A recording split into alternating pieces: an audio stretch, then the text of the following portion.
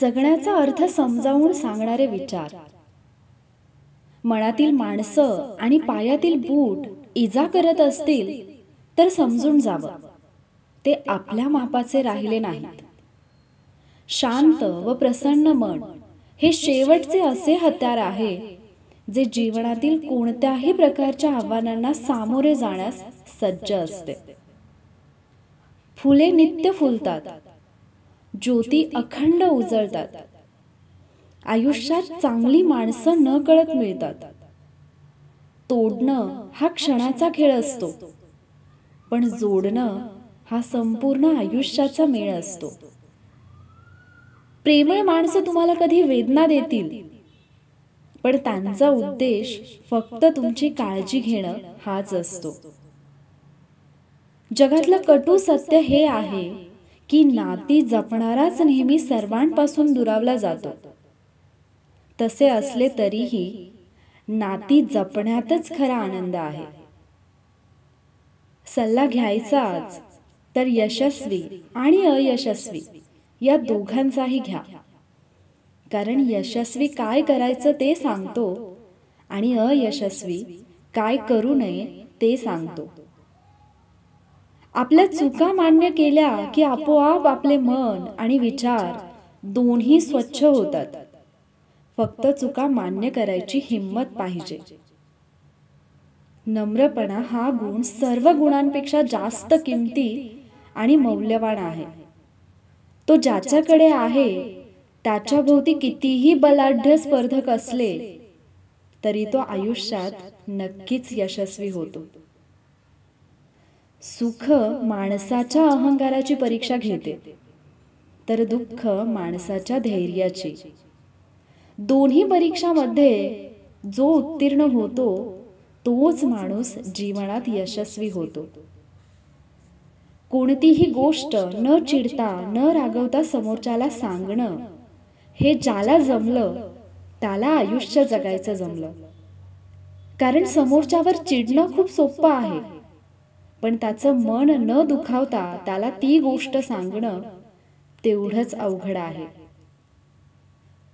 मोर नाचताना सुद्धा रडतो आणि राजहंस मरताना सुद्धा गातो. दुःखाच्या रात्री झोप कुणालाच लागत नाही आणि सुखाच्या आनंदात कुणीही झोपत नाही. यालाच जीवन असं म्हणतात. आयुष्यातील झालेला त्रास विसरून जा. पण त्यातून घेतलेला धडा विसरू नका. यशस्वी होण्याचा नियम एकच आहे. तो म्हणजे लोक काय म्हणतील हा विचार करणं सोडून द्या. जो फरक औषधांनी पडत नाही तोच फरक दहा मिनिटं ज्याच्याशी बोलून पडतो ना तीच आपली माणसं असतात. आवश्यकतेपेक्षा जास्त मिळतं त्याला नशीब म्हणतात.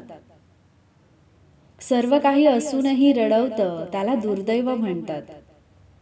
आणि थोडं कमी सापडूनही आनंद देतं त्याला आयुष्य म्हणतात. नेहमी सत्याच्या मार्गाने चला. या मार्गाने अपघात कमी होतात. कारण या मार्गाने येणाऱ्यांची संख्या फार कमी असते. चांगले मन आणि चांगला स्वभाव हे दोन्हीही आवश्यक असतात. चांगल्या मनाने काही नाती जुळतात आणि चांगल्या स्वभावाने ती नाती आयुष्यभर टिकतात. समजावण्यापेक्षा समजून घेण्यामध्ये खरी परीक्षा असते. कारण समजावण्यासाठी अनुभवाचा कस लागतो तर समजून घेण्यासाठी मनाचा मोठेपणा लागतो. अर्ध्या अडचणीचे निवारण तिथेच होते जेव्हा आपल्या माणसांकडून असे म्हटले जाते की काळजी करू नको. सर्व काही ठीक होईल. चांगले व्यक्तिमत्व कधीच जन्म घेत नाही. ते निर्माण करावे लागते. आपल्यासोबत दुसऱ्याचंही भलं व्हावं अशी ज्यांची मानसिकता असते त्यांना आयुष्यात काहीच कमी पडत नसतं. संधी आणि सूर्योदय या दोघांमध्ये एकच समानता आहे. ती म्हणजे उशिरा जाग येणाऱ्यांना या दोन्ही मिळत नाहीत.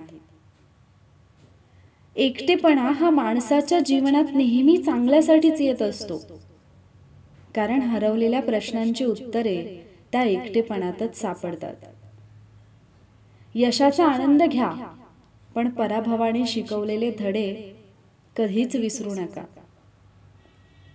जिंकायची मजा तेव्हाच येते जेव्हा अनेक जण तुमच्या पराभवाची आतुरतेने वाट पाहत असतात. कारण सांगणारे लोक यशस्वी होत नाहीत आणि यशस्वी होणारे लोक कारण सांगत नाहीत.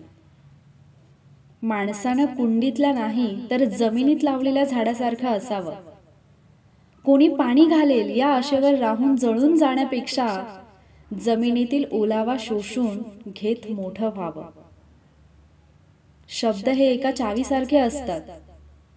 कधी मन मोकळं करतात तर कधी तोंड बंद करतात. तडजोड म्हणजे शरणागती नव्हे तर ती परिस्थितीवर केलेली मात असते. आयुष्य आणि पुस्तकांचे व्याकरण सारखेच आहे. शब्दाची निवड चुकली की वाक्य बिघडतं आणि माणसांची निवड चुकली तर आयुष्य बिघडतं. कुणीतरी पुढे गेला म्हणून द्वेष करत बसण्यापेक्षा आपण मागे का राहिलो? हा विचार करा आणि चालत राहा. स्पर्धा स्वतःशी करा जगाशी नाही. इच्छा आणि अपेक्षा मर्यादित असल्या की स्वाभिमान विकण्याची वेळ येत नाही. व्यक्तिमत्वाला आणि स्वभावाला न शोभणाऱ्या भूमिका नाईलाजस्तव साकारायला भाग पाडणारा अनियंत्रित चित्रपट म्हणजेच आयुष्य. आयुष्यात कुणाची पारख त्याच्या रंगावरून न करता उलट त्याच्या मनावरून करा.